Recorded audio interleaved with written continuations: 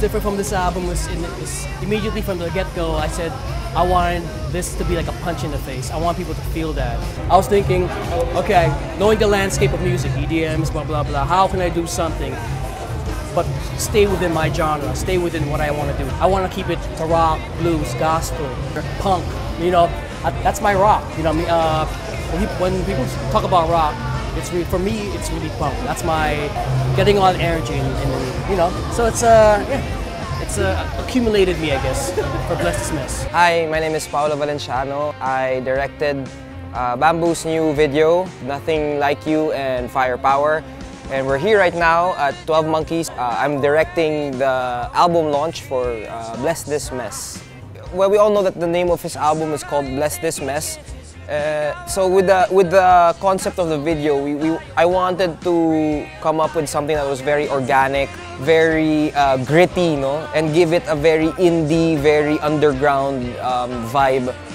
I wasn't sure if he was gonna like the concept when I presented presented it to him because he had something else in mind, no. I got an email from him and he was like, yeah, let's do it, let's do it, no. So yun, it, it, it everything fell into place. It's really different uh, from anything he's done before.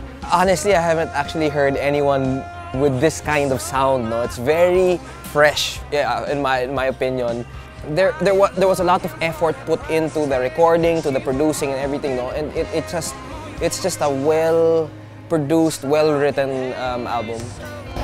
We, we had to, production wise, we had to leave the country and do it somewhere else. I, I just didn't think, now that everything's done, right, we're finished, I just don't think this album could have been done anywhere else. Uh, it had to be in this particular city, particular area, just because of that, that history what that, that, that place brings. So Brooklyn, right, Brooklyn.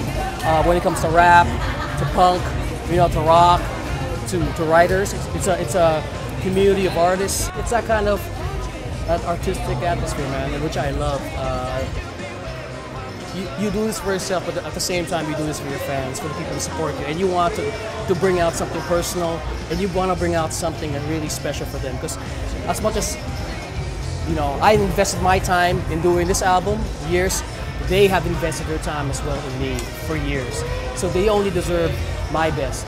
Hey, uh, I'll just say, hey guys, this is Bamboo here, and I uh, just want to invite and ask you to please get a copy of Bless This Mess. Play it loud. That's all I gotta say. Blast it, all right?